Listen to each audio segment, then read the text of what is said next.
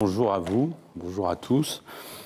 Euh, on est très heureux et je remercie le président de, la chaîne de nous accueillir euh, dans ces moments un petit peu difficiles, en effet, sur le plan médiatique, et pour nous donner l'occasion, et je pense que c'est important, de communiquer sur euh, notre actualité, mais surtout globalement sur l'existence, la réalité de l'activité d'un SAMU, et d'un gros SAMU comme le SAMU de Lyon, puisqu'on est le deuxième SAMU de, France en termes d'activité et de volume.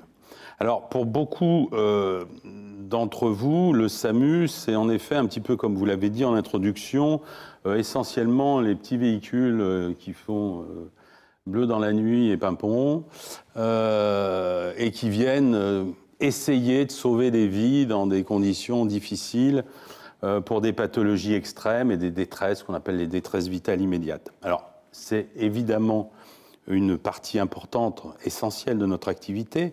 C'est en effet la partie euh, originale de notre activité. Initialement, les SAMU ont été créés dans les années 70 pour prendre en charge les victimes de la traumatologie routière. Parce qu'on s'était aperçu, nos, nos, anciens, nos aînés s'étaient aperçus à l'époque que bah, les patients, ils arrivaient deux fois sur trois morts à l'hôpital et qu'il fallait probablement anticiper la prise en charge euh, avant l'arrivée à l'hôpital. Donc les SAMU ont été créés pour ça, et les SAMU, c'était ces véhicules d'intervention. Et puis les choses ont évolué, et je vais vous le, détailler très rapidement. Euh, l'activité d'un SAMU, maintenant, ça n'est plus que ça, et ça n'est plus même vraiment euh, ça, c'est une partie euh, presque limitée de notre activité.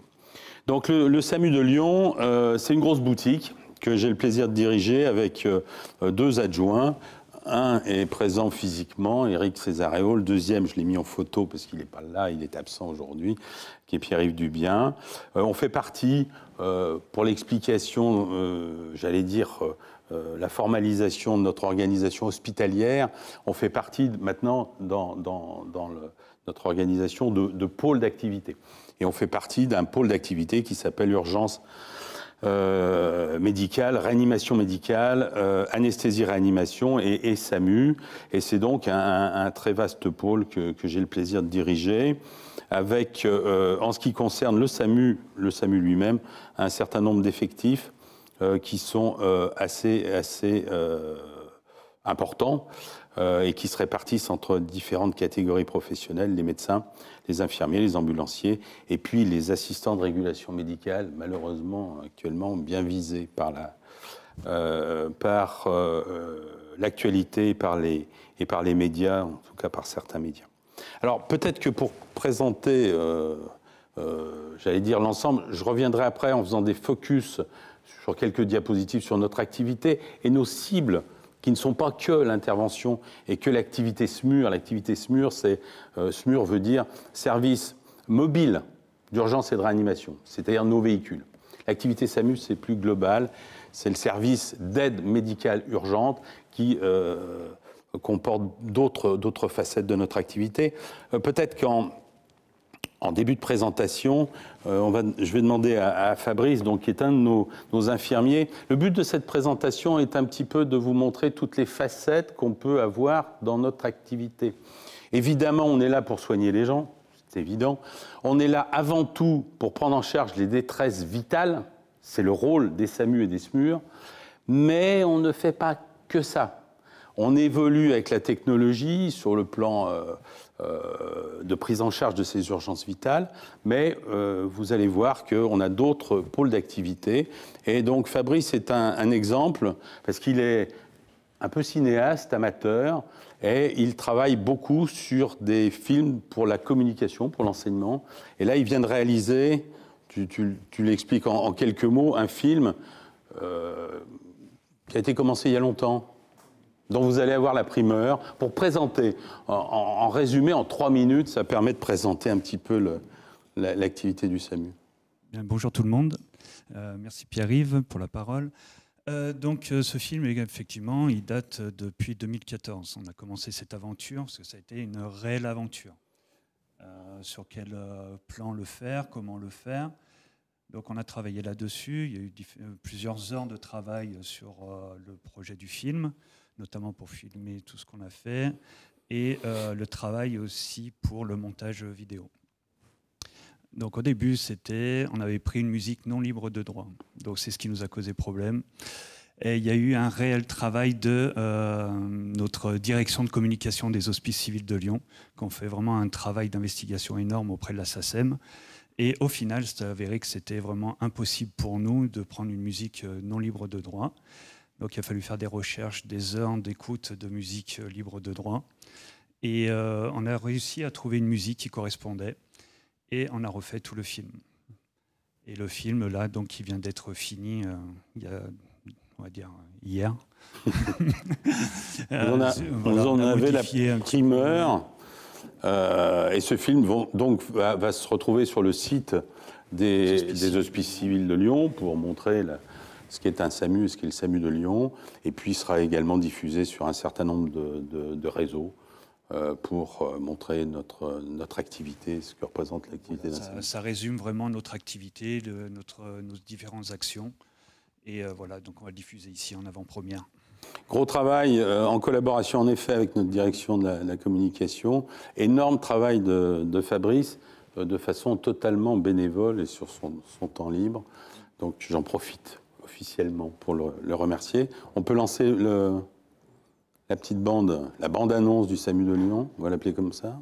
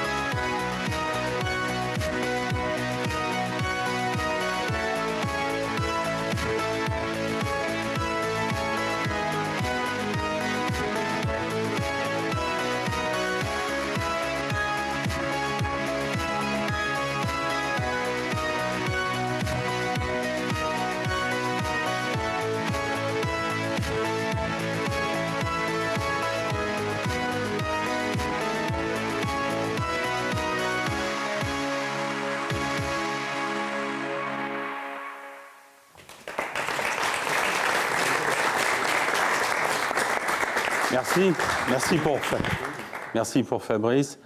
Euh, voilà, c'est, je pense, un petit, un petit euh, film à, la fois centré sur, sur la ville aussi, hein, sur la spécificité de notre ville. Donc je pense qu'il est un, un film intéressant. Je vais reprendre le, cours rapidement de notre de mon diaporama. Un SAMU, en gros, c'est 20 millions d'euros par an de coûts et de et d'entrées financières. Les SAMU sont financés par des missions d'intérêt général qui viennent directement de notre tutelle via l'ARS.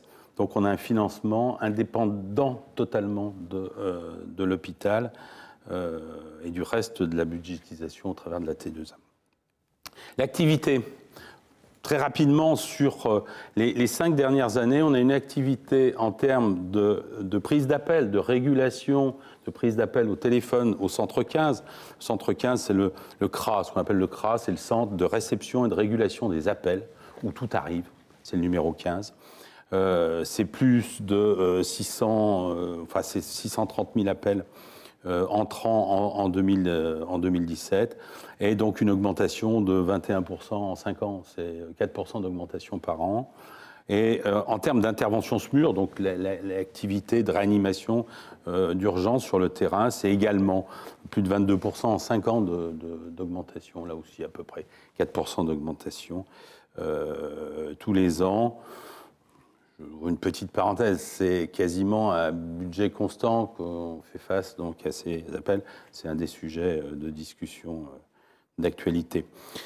Alors, euh, je, l'ai dit en introduction, le SAMU, le SAMU de Lyon en particulier, ça n'est pas que le centre 15, le décroché et la régulation de ces appels, qui soit fait euh, on en redira un mot, soit cette régulation par un médecin urgentiste qui traite les appels graves, ou par un médecin PDS, c'est la permanence des soins, c'est un médecin généraliste qui vient prendre, réguler les appels au, centre 15 dans les, mêmes locaux. Il y a cette, cette répartition.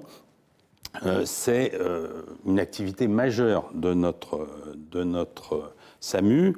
L'activité d'intervention, ce sont les SMUR. C'était dit dans le film. Euh, en ce qui concerne les SMUR des hospices civils, il y en a, trois, trois SMUR terrestres, plus un SMUR aérien, hélicoptère, les SMUR, et un SMUR spécifique de néonatologie pour les, les nouveau-nés. Mais ça n'est pas que ça, l'activité du SAMU. Alors je détaillerai pas trop le reste parce qu'on n'a pas le temps mais si ça vous intéresse, on peut en discuter. On a une unité en particulier de médecine de catastrophe pour ce qu'on appelle les SSE, les situations sanitaires exceptionnelles, euh, qui se met en, en, action à chaque fois qu'il y a un événement potentiel. Alors bien sûr, qui serait en action s'il y a un événement dramatique qui surviennent dans notre région, dans notre ville en particulier, et qui sinon euh, participent à euh, tous les exercices qui sont mis en place. Je n'aurai pas le temps de le détailler beaucoup, mais il y a énormément d'exercices qui sont faits avec nos collègues euh, secouristes, les pompiers, avec la sécurité, la police, sous l'égide des, des, préfets, et, et, donc c'est une partie de notre activité. De même qu'il y a une partie d'activité qui est développée depuis ces dernières années aussi, qui est la cellule d'urgence médico-psychologique, la CUMP, on a des psychiatres dans notre euh, SAMU qui viennent participer, j'allais dire, à ces interventions dans des situations un petit peu exceptionnelles où il y a un problème psychologique pour les familles, les entourages ou les témoins ou les victimes, par exemple, d'attentats. On a une cellule régionale de transport néonatal, régionale Auvergne-Rhône-Alpes, et puis on a un centre d'enseignement des soins d'urgence. Ça, a été, ça a été montré dans ton film rapidement, mais je reviens, euh, je reviendrai pas sur ces, euh, ces, ces, actions qui sont, qui sont quand même importantes. Entre autres, le centre d'enseignement des soins d'urgence, c'est euh, au travers de ce centre qu'on forme aux gestes d'urgence l'ensemble des personnels des hospices civils et, d'autres aussi, au-delà des hospices civils. L'activité, j'allais dire, clé au jour d'aujourd'hui de notre SAMU, comme des SAMU en France, c'est la régulation médicale. Et malheureusement, c'est elle qui est, visée actuellement. Euh, on a un, centre de régulation qui a été refait en 2014, dont la surface a été doublée. Euh, qui est parfaitement ergonomique. Euh, on travaille dans des conditions satisfaisantes. Là, vous avez les, les médecins qui régulent les appels. Là, vous avez un permanencier avec ses écrans, chaque, chaque intervenant a, deux écrans devant lui. là, vous avez les médecins régulateurs de permanence des soins qui régulent tous les appels de médecine générale. historiquement, c'était aux heures de fermeture de cabinet le soir et la nuit et les week-ends. Maintenant, vu la demande de plus en plus importante, on a des régulateurs généralistes qui viennent la journée et on a en permanence au minimum deux médecins généralistes qui régulent la journée, alors qu'au niveau de, la médecine d'urgence, on a trois médecins urgentistes qui régulent la journée. Et on peut monter en fonction des périodes, en particulier les congés, euh, en particulier euh, les périodes d'épidémie, une épidémie grippale par exemple l'hiver, euh, on peut augmenter le nombre de régulateurs. On va jusqu'à six régulateurs euh, euh, généralistes en période de, forte activité, en tout cas les week-ends. Voilà la, répartition de notre centre. Et là, c'est la partie aide médicale urgente, c'est-à-dire les médecins urgentistes qui régulent les appels de médecine d'urgence qui vont déclencher pour un certain nombre d'entre eux, pas tous, hein, des interventions, euh, soit du SMUR, soit d'autres euh, interventions, ambulance ou voire en voie de pompiers. Pour, juste pour cibler, là je sors complètement de, de la spécificité lyonnaise, pour que vous compreniez l'importance de ces appels d'urgence qui sont un des sujets de discussion au jour d'aujourd'hui. Est-ce qu'il faut des numéros communs, uniques Qui fait quoi?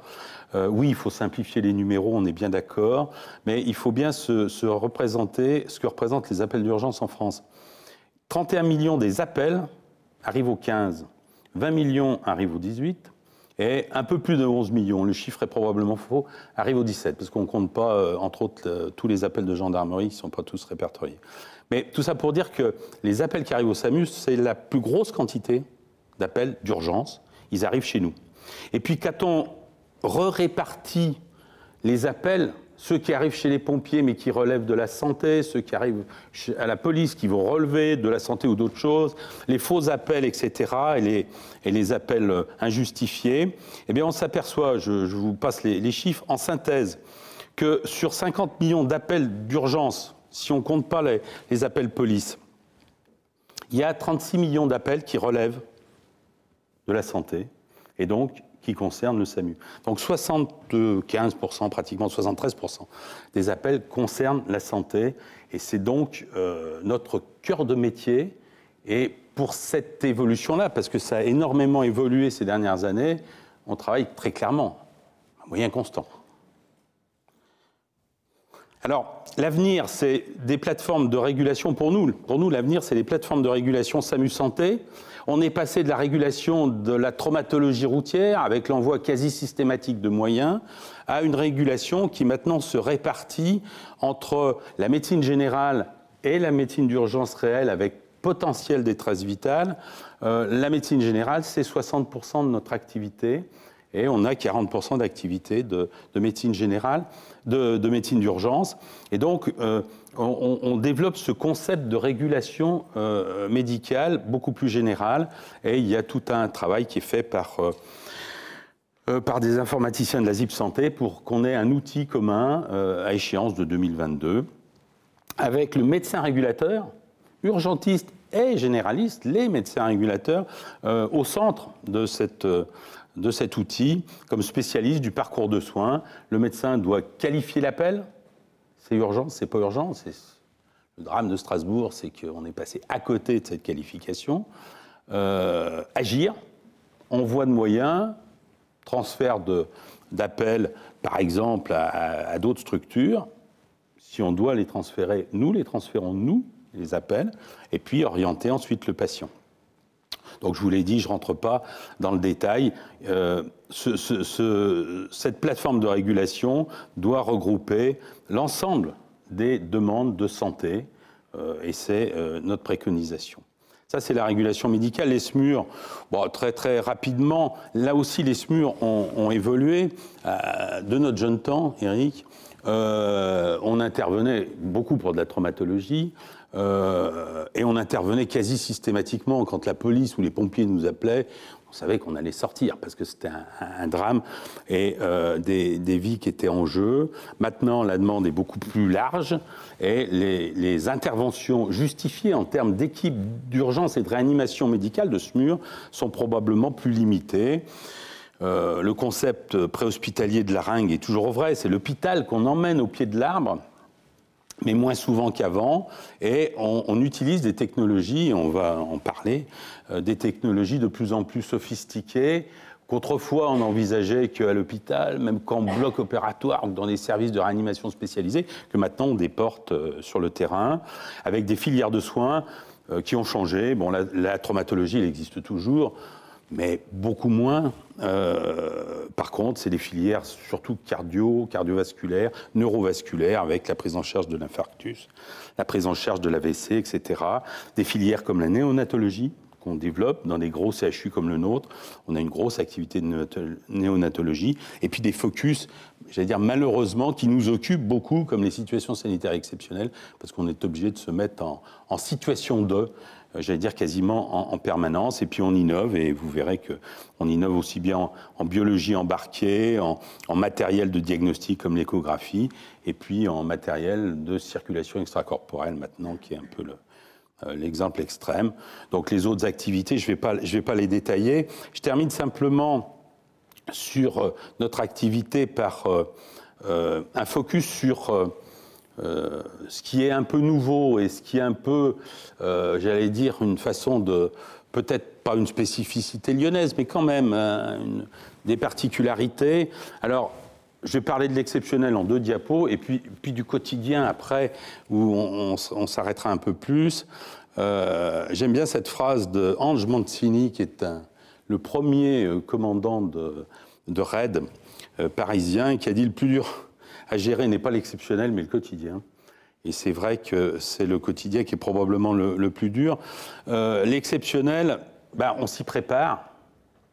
Euh, c'est très chronophage, ça nous prend beaucoup de temps. Là encore, il n'y a pas de moyens supplémentaires pour se préparer à ça. On a une grosse unité UMC, c'est l'unité de médecine de catastrophe, qui s'occupe de ces situations sanitaires exceptionnelles, avec beaucoup d'entraînements. Là, vous avez quelques-uns de nos, confrères qui s'entraînent avec la police en bas, avec le RAID, euh, en collaboration systématiquement avec les pompiers. On organise des, PC avec, euh, avec les pompiers pour s'entraîner aux éventualités les, pires qu'on peut imaginer et qui malheureusement, je ne dis pas que ça arrivera chez nous, mais qui malheureusement se reproduiront euh, quelque part en France. Donc on est obligé de, se préparer, de la même façon qu'on a développé par exemple la création de ce qu'on appelle des kits, euh, ces petites, petites valises qu'on aurait pu amener d'ailleurs, damage control. C'est du matériel pour prendre en charge des nombreuses victimes euh, pendant un temps court, mais de façon rapide, avec un minimum de matériel. C'est des garrots, c'est de quoi éventuellement mettre une perfusion, c'est de quoi éventuellement euh, immobiliser, mais de façon très sommaire. Le damage control, c'est ce qu'on appelle une prise en charge écourtée. Si vous avez un accident grave, que vous êtes gravement blessé, une équipe de SMUR va arriver, va vous prendre en charge, j'allais dire complètement, et de façon euh, longue, prolongée, pour permettre le conditionnement le meilleur. S'il y a des centaines de victimes, il y aura une inadéquation entre les moyens qu'on va pouvoir vous envoyer et le nombre de victimes. Donc on va faire en sorte, pour qu'il n'y ait pas de perte de chance, pour l'ensemble des blessés, de ne pas se focaliser sur un blessé en lui faisant tout le traitement qu'on pourrait éventuellement faire en abandonnant les autres.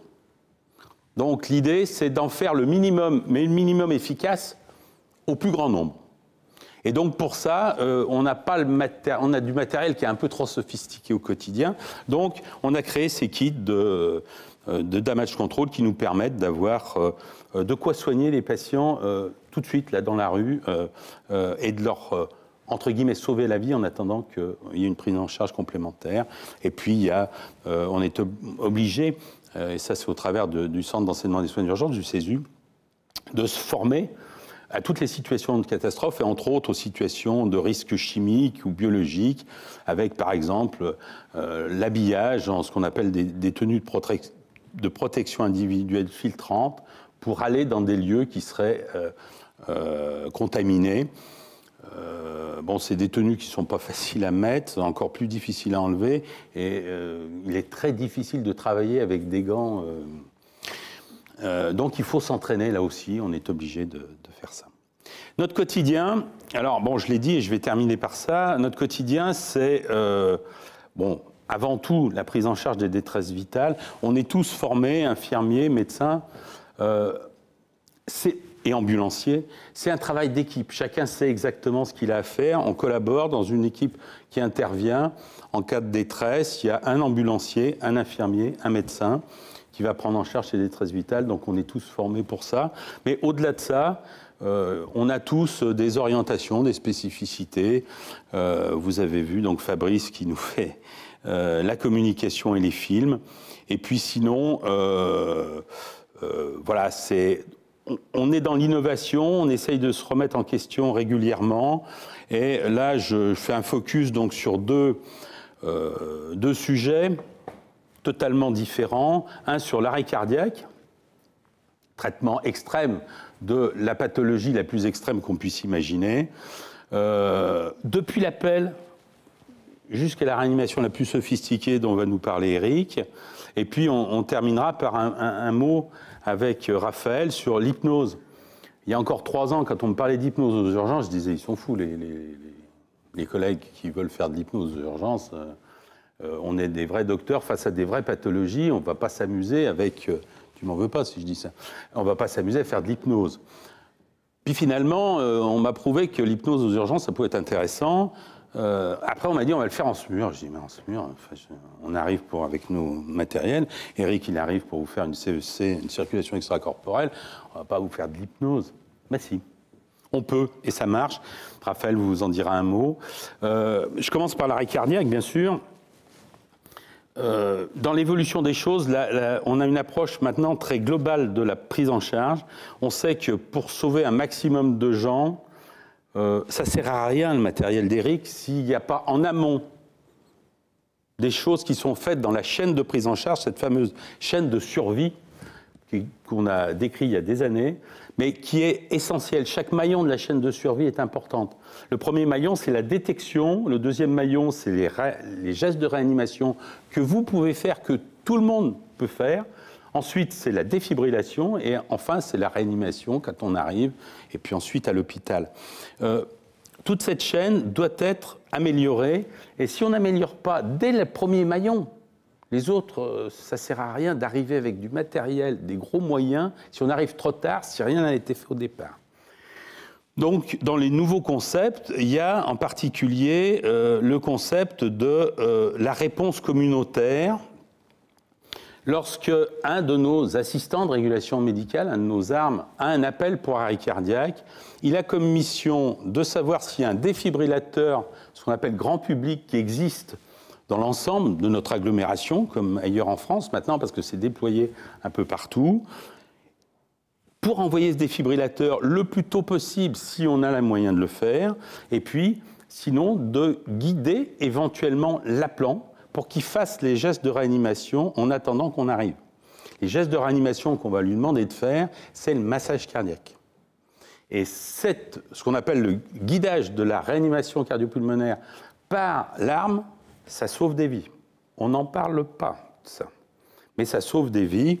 Euh, pour l'anecdote, euh, il y a eu une journée sur les gestes de réanimation il y a 15 jours, euh, organisée par la, municipalité, place, place, Bellecour, et j'ai eu l'occasion de croiser par hasard une famille avec une fille qui est venue me voir, enfin un monsieur qui est venu me voir en me disant Je voudrais que vous vous présentez ma fille. Je dis Oui, bien sûr. c'est elle qui m'a sauvé. Je dis, vous a sauvé? Oui, oui, c'est elle qui m'a sauvé. Euh, parce qu'elle m'a massé en écoutant les conseils de l'assistant de régulation médicale. C'était pas de Lyon, c'est de Grenoble, c'est la même maison, c'est pas, grave, c'est même très bien.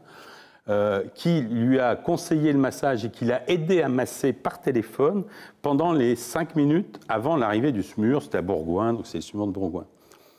Monsieur, il allait comme vous et moi. Euh, et cette fille qui a 16 ans euh, nous a expliqué, bah oui, qu'elle avait suivi ça. Sa mère qui était là a dit en fait, c'est moi qui ai appelé et euh, la permanencière du SAMU, l'arme, m'a dit vous allez faire ce que je vous dis. Et elle lui a dit non, j'en serais pas capable, je vous passe ma fille. Et la fille a fait. c'est pas paru dans la presse. C'est dommage. Mais bon, j'ai essayé de, la convaincre de, de communiquer. Donc voilà, c'est l'approche globale. Il faut, il faut dès le départ être performant. Et euh, pour ça, il y a des possibilités et après je passe la, parole à Eric, c'est promis.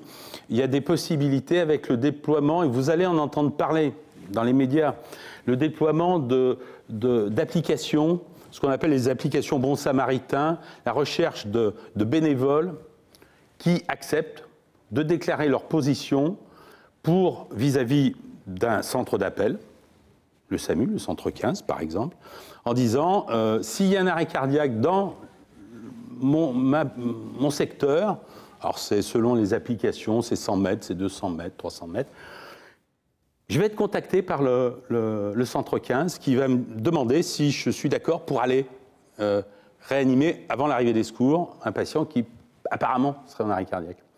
Et donc ces applications de bénévoles, ça se développe. Alors euh, Bon Samaritain à droite, c'est euh, euh, une application qui est développée par la Brigade des sapeurs-pompiers de Paris.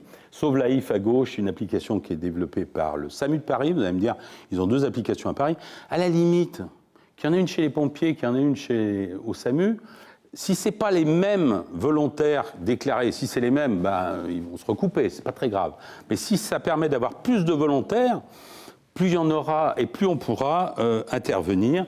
Bon, pour information, c'est pour ça que vous allez en entendre parler, dans les semaines qui viennent, on développe Sauve Life euh, au, SAMU de Lyon et euh, probablement une autre application, parce que pourquoi pas en avoir deux, Permis de sauver, qui est une application locale, là, qui est une start-up lyonnaise. Voilà, et ça, c'est notre première étape qu'on développe. Maintenant, il y a les développements techniques. Et euh, je vais laisser la parole, c'est promis, à Eric, pour qu'il nous présente rapidement, hein, rapidement euh, le, la circulation extracorporelle. Merci Pierre-Yves, bonjour à tous. Donc effectivement, en deux mots, on va parler arrêt cardiaque. Donc sur le SAMU de Lyon, depuis maintenant un an, nous sommes cinq praticiens hein, qui sont listés sur cette première diapo, à H24, 7 jours sur 7, pouvoir intervenir en cas d'arrêt cardiaque d'un certain type. Euh, juste une question sur. C'est celle-ci. Voilà, merci beaucoup. Donc, en deux mots toujours pareil, comment ça fonctionne? C'est vraiment très simple. On met un tuyau dans une veine qui est près du cœur, un autre tuyau dans une artère, et puis le sang va passer dans une machine qui va oxygéner le sang et le réinjecter dans l'artère. Donc le principe, c'est vraiment très simple. On va simplement se substituer au cœur. Regardez la diapo euh, en temps réel il y a deux colonnes de sang, une bien rouge, c'est le sang qui a été oxygéné, une un peu plus noire, veineuse, qui arrive à la machine. Donc plutôt que vous raconter tout ce que vous voulez, vous faire un petit cours de médecine, je vais vous raconter une histoire, une belle histoire. Ça commence le 7 octobre 2017. C'est un monsieur qui doit avoir 33 ans, qui est jardinier de son état. Depuis 10 heures du matin, il a une douleur dans la poitrine. C'est pas facile pour lui. Et puis à 15 heures, brutalement, il s'effondre. Il a plutôt de la chance. Ça se passe dans un institut, une EHPAD, où une infirmière est présente. Donc il s'effondre à 15 heures. Le diagnostic est fait tout de suite. L'infirmière va commencer à le masser. Dix minutes plus tard, les pompiers arrivent. 29 minutes plus tard, hein, il faut quand même un petit peu de temps, ça se passe à Charbonnière, le SMUR de la Croix-Rousse arrive. 31 minutes plus tard, l'équipe ECMO qui part d'Edouard Herriot arrive.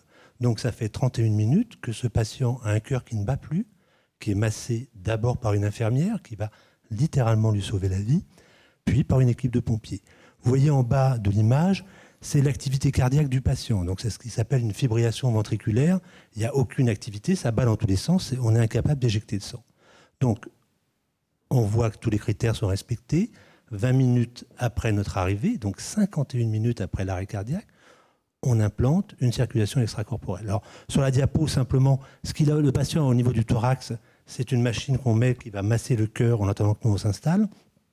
Le temps de s'habiller, ça va assez vite. On incise 53 minutes après le début de l'arrêt cardiaque. Donc on ne va pas rester trop longtemps sur les détails. Ce qu'on veut voir effectivement, alors je pense que ça passe bien sur la diapo, c'est une artère, je vous la montre juste là, une artère ici, vous voyez rose nacrée, une veine derrière. Voilà. L'artère, c'est ce qu'on veut pour réinjecter. La veine, c'est ce qu'on veut pour prélever le sang. Donc on va après, c'est rapide, enfin ça s'apprend, ça n'a rien de très très compliqué. Donc une fois qu'on a identifié les vaisseaux, on est sûr que ça va marcher. Donc c'est un tout petit peu gore, mais ça va rester deux minutes, rassurez-vous. La canule artérielle, bah, il y a des bons débits. La canule veineuse, il faut remonter jusqu'au cœur, vous voyez, donc elle fait 45 cm. Il faut avoir une bonne vision, c'est pour ça qu'on ne fait pas ça en percutané, que euh, voilà pourquoi on prend un petit peu de temps. Mais ça prend 8 minutes pour mettre la canule artérielle, 13 minutes au total pour mettre la canule veineuse. Normalement, une image comme ça, c'est au bloc opératoire. Voilà. Donc là, on est, dans le jardin. On est dans la rue, ça se passe plutôt pas mal. On a de la place, on est plutôt, c'est plutôt agréable. Parallèlement, on a besoin, je sais pas qu'un exploit de deux personnes, on a besoin de toute une équipe. Ici, donc, un infirmier qui prépare la machine, le circuit, parce qu'il ne faut pas qu'il y ait de bulle d'air dans ce circuit quand la machine va commencer à tourner. Eh ben, un pompier qui est dans son rôle, qui nous aide aussi également euh, largement. Et puis regardez, 17 minutes après l'incision, la machine tourne. On voit bien la différence de couleur hein, entre le sang artériel qui repart oxygéné, le sang veineux qui arrive. Alors, ce qu'on appelle reperfusion juste au-dessus, c'est qu'on est obligé de remettre un petit tuyau dans l'artère fémorale en dessous, puisque la canule artérielle qu'on met bouche l'artère fémorale. Donc, sinon, trois heures après, il y aurait une ischémie de tout le monde. Donc, euh, c'est une étape supplémentaire, mais bon, qui prend, euh, voilà, qui prend cinq minutes, c'est rien du tout. Et voilà, la fin de cette histoire, c'est le même patient. Alors, il a un petit peu grossi, il est quand même un peu plus souriant. Il a été revu par Pierre-Yves il y a, euh, il y a 15 jours. Hein, il était transporté parce qu'il se plaignait d'une douleur dans la poitrine. Donc, bien entendu, là, il a été sage, il a appelé tout de suite les secours. Regardez la cicatrice, six mois plus tard. Quoi. Donc, c'est voilà une belle histoire. Et on en a fait plus d'une comme ça. Alors celle-ci, elle est illustrative parce qu'on a des très jolies photos, qu'on a revu le patient. C'est l'histoire que je voulais vous raconter et je vous remercie de l'avoir écoutée.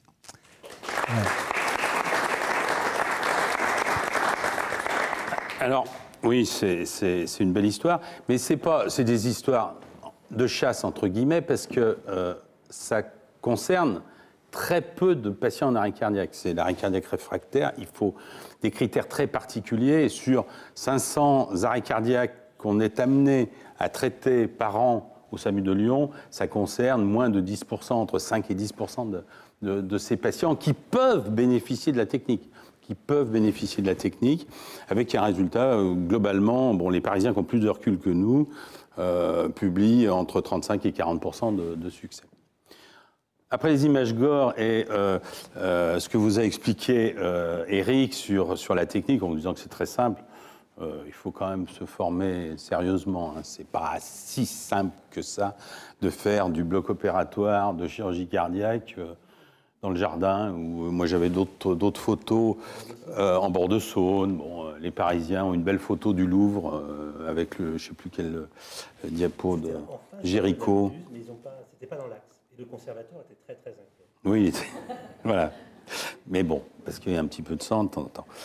Un, petit mot de, l'hypnose aux urgences, je vous l'ai dit en enfin, tout à l'heure. Euh, là, c'est la, diapo d'introduction d'un topo qu'on va faire euh, dans la région, hein, sur euh, un forum de l'urgence de nos voisins de Saône-et-Loire, qu'on va aller faire avec Raphaël. L'idée de l'hypnose aux urgences, c'était complètement saugrenu il y a quelques années encore plus en ce mur. Et c'est devenu une évidence. Et euh, bon, euh, tu expliques un petit peu, peut-être, entre autres, l'importance de la prise en charge de la douleur, c'est évident. Euh, la place de l'hypnose, c'est pas évident, mais quand on a compris que ça pouvait marcher, mais c'est tout bénéfice. Ça coûte rien en, en, en moyens, ou quasiment. Ça prend pas de temps, contrairement à ce qu'on peut penser. Et euh, c'est tout bénéfice pour le patient si ça se passe bien, si c'est efficace, quelqu'un un grand nombre de fois. Hein. Bon, c'est tout bénéfice. Donc, euh, tu nous dis quelques mots, en particulier chez l'enfant, qui est, le domaine. bonjour, bah, je m'appelle Raphaël. Euh, aujourd'hui, le SAMU a changé la façon d'approche au niveau des soins pour, les enfants. pardon. Donc aujourd'hui, on est à peu près six infirmiers et deux médecins à, à prodiguer des soins sous hypnose. Disons qu'on essaye, euh, lors d'une perfusion, d'amener l'enfant vers un voyage euh, imaginaire, un voyage bien entendu choisi. Euh, qu'est-ce qu'on peut dire d'autre? On essaye de le détendre par différents jeux qui sont ici. Il y en a d'autres dans tous les SMUR, donc à peu près il y a 12 sacs répertoriés pardon, selon les classes d'âge. Donc il y a 3 sacs de 0 à 4 ans, 4 ans, 9 ans, et 9 ans, 12 ans. Voilà. Euh, on utilise aussi pardon, euh, du méopas, qui est un gaz qui permet justement de diminuer la douleur et surtout de créer une sédation, mais présente. C'est-à-dire que l'enfant discute avec moi, ce qui permet justement de, lui, faire des soins. J'utilise l'hypnose sur différents contextes, je veux dire, par rapport à une pose de perfusion. On va imaginer, euh, je vais lui faire imaginer que je vais lui mettre un gant magique. Dans ce gant magique, il va avoir une sensation qui lui est propre et je pourrais poser une perfusion sans qu'il puisse bouger la main. Voilà. Avec les médecins, lors d'une fracture, donc euh, on va utiliser bien entendu le gaz. Avec l'enfant, on va imaginer un voyage ou simplement gonfler un ballon, le, faire une dissociation entre ce qui est actuellement et son voyage. Et le médecin va pouvoir euh, réaxer la fracture, le remettre dans son axe, sans que l'enfant puisse avoir mal. Ceci permet justement de créer une alliance thérapeutique entre l'enfant et moi-même et le groupe, ce qui fait que l'appréhension de la blouse blanche, l'enfant ne l'a moins. Ces jeux, justement, permettent à l'enfant de se sentir euh, sécurisant, se sentir bien, et donc il n'y a pas de pleurs, et il n'y a surtout, surtout pas de, de, prélèvement, et surtout pas de perfusion. Si on est capable, on est capable aujourd'hui au SMUR de Lyon de prodiguer des soins sans pose de perfusion grâce à l'hypnose. Donc, euh, comme disait le professeur, le coup, il n'y a plus de traitement, il n'y a plus de perfalgan, de morphine, donc tous les effets secondaires, les vomissements. Donc, on, gagne vraiment du temps par rapport à l'enfant. Donc, euh, voilà, aujourd'hui, avec le professeur Guignot et d'autres euh, personnels du SAMU, nous prodiguons ce type de soins aujourd'hui. Donc, voilà. Et là encore, c'est un travail d'équipe. Hein. C'est un travail d'équipe parce que, comme, comme le dit Raphaël, c'est pas Raphaël peut le faire parce qu'il sait le faire, il est, formé pour, mais il faut qu'on travaille entre le médecin, voire l'ambulancier, souvent qui participe à, ces échanges pour rentrer dans le jeu du patient, parce que ça peut être un adulte aussi, mais c'est vrai que c'est tellement caricatural et facile chez l'enfant que, c'est tout bénéfique. Euh, euh, par exemple, si vous devez réduire une fracture ou, euh, ou, une luxation, il faut que le praticien qui va faire le geste soit parfaitement en phase avec ce qui est fait. Donc voilà, il y a différents niveaux d'hypnose, mais je ne vous rentre pas là-dedans, évidemment. moi, j'insiste pour terminer sur le fait que, pas sur l'hypnose, mais sur le fait que le travail d'un SAMU, euh, avec toutes les extrémités, toutes les facettes. Euh, c'est avant tout un travail d'équipe et de gens motivés. Euh, on en a beaucoup à Lyon, j'ai beaucoup de chance. Voilà pour cette présentation, je vous remercie.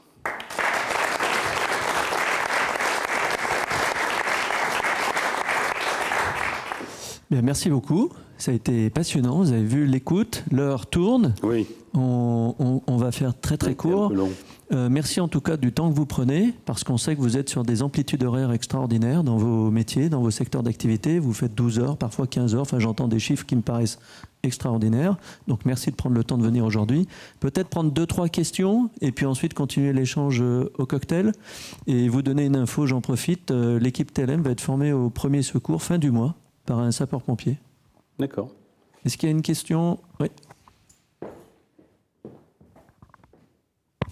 Bon, merci déjà pour cette présentation. Vous avez parlé d'une activité en hausse de 21%. Je voudrais savoir comment vous l'expliquez. Alors, euh, l'activité en hausse, euh, pour ce qui est des appels téléphoniques, elle s'explique, euh, j'allais dire essentiellement, par l'évolution de l'organisation des soins de ville et la problématique des médecins généralistes. Au jour d'aujourd'hui, on n'a pas suffisamment de médecins généralistes pour que les euh, généralistes puissent répondre à toutes les demandes concernant la médecine générale. Euh, je ne sais pas si vous avez eu l'occasion de vous en rendre compte ou des gens de votre, entourage. Euh, quand vous arrivez, par exemple, dans une ville, vous cherchez un médecin généraliste, ce n'est pas évident de trouver un médecin généraliste. Une majorité de médecins généralistes, au jour d'aujourd'hui, vont vous répondre qu'ils ne prennent pas de nouveaux clients parce qu'ils ont une charge de travail qui est importante.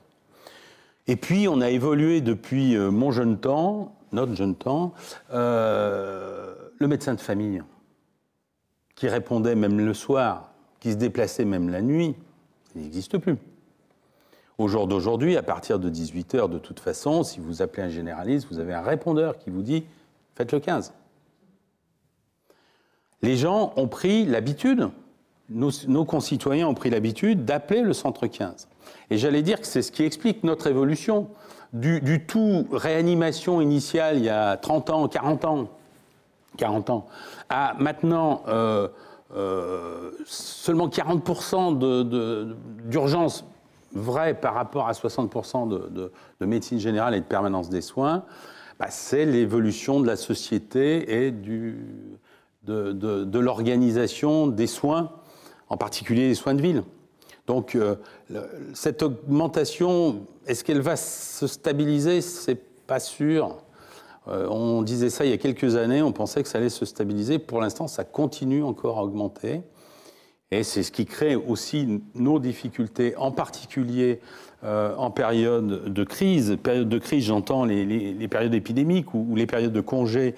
Quand nos collègues sont en vacances, on a eu une période très difficile, euh, fin d'année, la semaine entre Noël et le jour de l'an, où on a atteint ce qu'on n'avait jamais atteint comme nombre d'appels entrant au SAMU. En moyenne, en moyenne sur l'année, par jour, on a entre 1000 et 1200 appels entrant au centre 15. Euh, dans la période entre Noël et le jour de l'an, on est monté jusqu'à 3200 appels par jour. On ne sait pas faire. Je veux dire, on pourrait, on a augmenté évidemment le personnel, on a mis un personnel maximal, mais même avec l'effectif maximal, tous les postes occupés, et on a des postes supplémentaires qui sont libres justement pour les occuper en cas de surcharge, tous ces postes, toute cette activité, toute cette augmentation de, personnel n'a pas permis de juguler l'activité, ce qui fait que les gens ont attendu beaucoup trop longtemps quand ils ont appelé le 15 dans cette période-là. C'est clair que dans ces cas-là, on devient moins performant parce que les moyens restent, j'allais dire, équivalents euh, par rapport à l'évolution de notre, sociétale, on va dire. Ok, merci. Je vous propose de... Ah alors, peut-être un clin d'œil avant, quand même vous dire que vous avez la présence de Bruno Lacroix, qui est le président de la Fondation des Hospices Civils de Lyon. Et je le salue. Euh, TLM diffuse une émission santé euh, avec euh, la Fondation des Hospices Civils de Lyon. En tournage aujourd'hui? En tournage aujourd'hui. depuis deux ans, on fait cela. Et on essaye de contribuer à la promotion, à la notoriété pour que les Lyonnais euh, aient l'envie de vous faire des dons Je vous laisse poser une question. Réponse courte. Promis. Et cocktail après. Merci. Euh, oui, effectivement. Donc, je suis Sophie Mérigot, euh, déléguée générale de la Fondation Hospice Civil de Lyon. Professeur Gognou, on n'a pas eu l'occasion de se rencontrer. Mais en revanche, j'ai rencontré Raphaël Distante. effectivement, donc je voulais juste citer. C'est grâce à vous. Hein entre autres, avec une autre association, Rêve de Luciole. Les Rêves de hein, Luciole, voilà. on a Exactement. non, je voulais juste effectivement euh, euh, signaler l'existence de ce partenariat entre TLM et la, et la Fondation Hospice Civil de Lyon, euh, qui initie donc des émissions, des tournages au sein des services pour montrer justement l'excellence des soins. On a beaucoup de chance à Lyon de, bénéficier de, services de ces équipes qui sont très mobilisées. Et euh, si vous en êtes d'accord, euh, euh, et avec l'accord bien sûr des équipes de TLM, ce serait intéressant qu'on puisse venir à votre rencontre, venir à votre, dans votre service pour faire une émission. Voilà.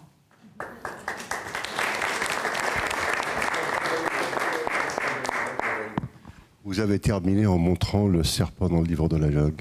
Qui connaît la chanson du serpent? Et confiance, croise en moi.